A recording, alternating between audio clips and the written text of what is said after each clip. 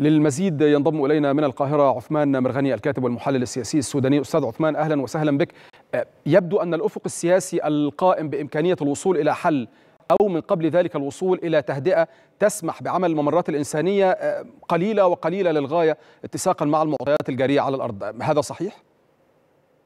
لا لا بالعكس. أعتقد أنهما خطان متوازيان. الخط الذي يمثل مسار التسوية والمفاوضات هو الآن متوقف لكن متوقف في وجود ربما بعض الجهود خلف الكواليس من عدة اتجاهات من جانب منبر جدة من جانب منبر دول الجوار من جانب الإيجاد. هناك مساعي جادة خلف الكواليس لكنها متعطلة في المسار الذي فيه مفاوضات مباشرة بين الجيش وقوات الدعم السريع. لكن المسار العسكري المسار العسكري لا في هذه النقطة أستاذ عثمان في, في هذه النقطة الجيش قال أن وفده لم يغادر السودان وسيبقى في السودان إلى حين النظر في معطيات أكثر جدية وبحث الآليات القابلة للتحقق من خلال وقف فعلي لإطلاق النار يسمح بعمل الممرات الإنسانية. ثم تراهن حضرتك على أن هناك عملا يتم خلف الكواليس كيف نفهم ذلك؟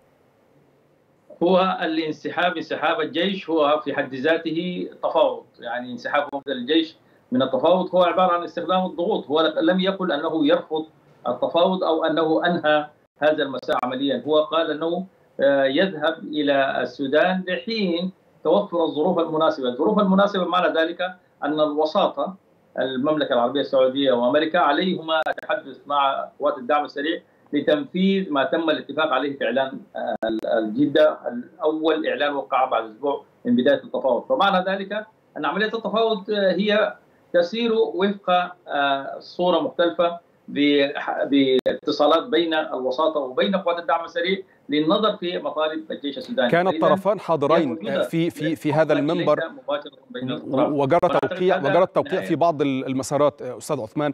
ولم يسفر الأمر عن شيء ذي بال وربما حتى تعمقت الأزمة على المستوى العسكري في المدن الثلاث العاصمه الخرطوم. الآن عندما ينسحب ممثلو القوات المسلحة السودانية من هذا المسار ولو كان ذلك بشكل مؤقت كيف يمكن أن نراهن على تحقق شيء؟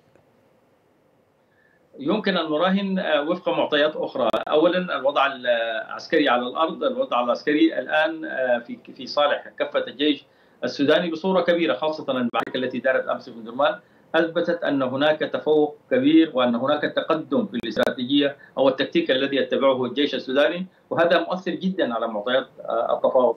هناك أيضا الضغوط التي تأتي من المجتمع الدولي، المجتمع الدولي يمارس ضغوط بشتى السبل على جميع الأطراف. للوصول إلى اتفاق. ثم أن وجود منابر أخرى بدأت تنشط الآن من دول جوار السودان الذي عقد الاجتماع الأول للآلية الوزارية وتوصل إلى خطة ثلاثية الأبعاد سياسية وعسكرية وإنسانية. وهناك أيضا ما تلوح به الايجاد من من اجتماعات للمجموع أو المكون السياسي. كل ذلك إضافة إلى الوضع الإنساني على الأرض وهو أيضا ضاغط جدا على الأطراف لأن الوضع الإنساني وصل مرحلة لا يمكن تصورها.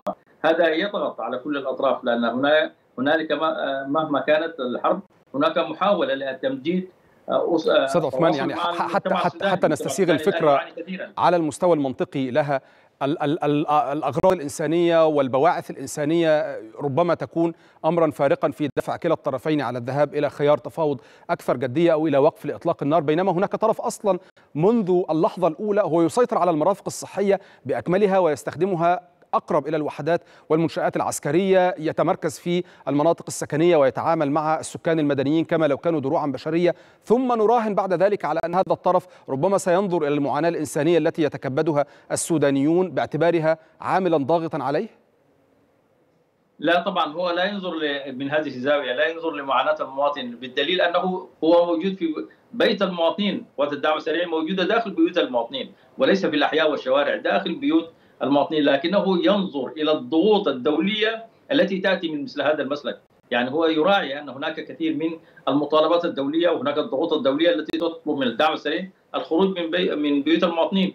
هناك كثير من هذه الضغوط التي يمكن في النهاية أن تؤثر على وضع الدعم السريع وقد تؤدي إلى عقوبات دولية توجه لقيادات الدعم السريع والدعم السريع كمؤسسات وهذا بالتأكيد سيضر كثيرا بالدعم السريع. فاذا هي حتى ولو لم يراعي الدعم السريع المسائل الإنسانية لكن ارتدادات هذه المسائل الإنسانية يؤثر على الدعم السريع وأعتقد أن هذا واحد من أقوى الملفات التي تؤثر على المفاوضات المقبلة أو حتى أي مفاوضات في أي منبر آخر.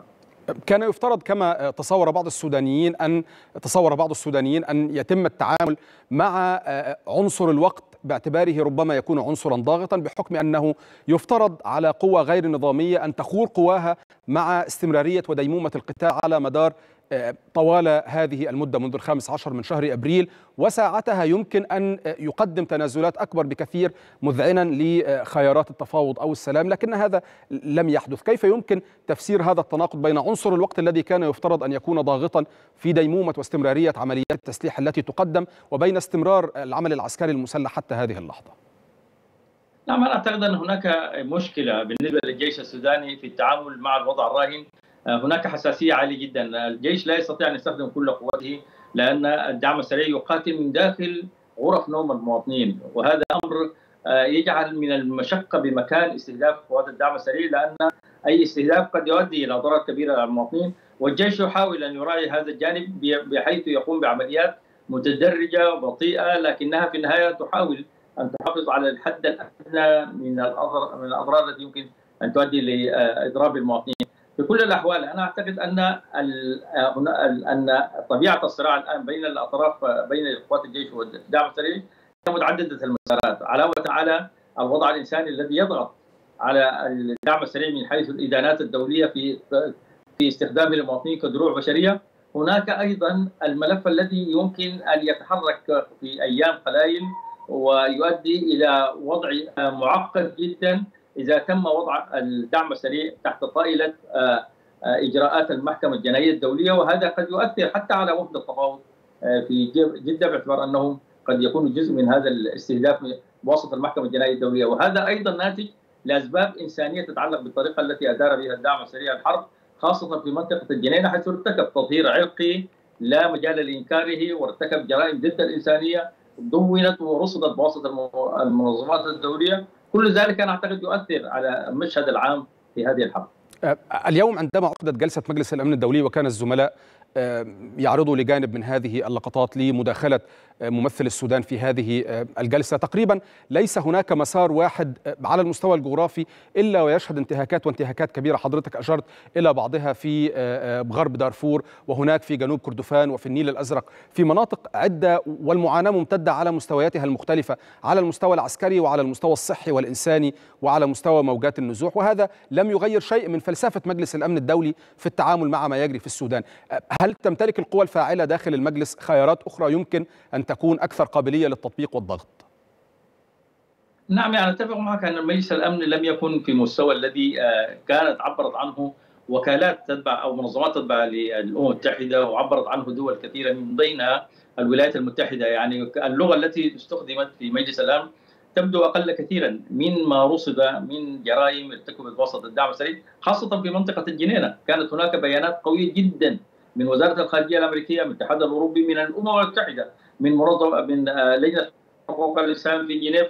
لكن الآن العبارات التي صدرت من السلام تبدو كما لو كانت تتعامل معه كأنه أمر طبيعي وليس أمر استثنائي يحدث أمام مشهد العالم.